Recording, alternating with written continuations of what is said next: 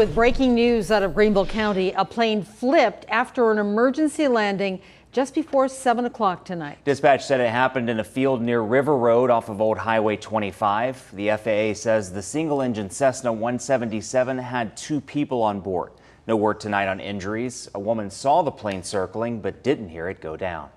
That's really good. I feel like that pilot that um, was driving that plane did really good by inverting the plane over and landing it safely for everybody that was on board. FAA records show the plane is registered to an Asheville man. The cause of the emergency landing remains under investigation.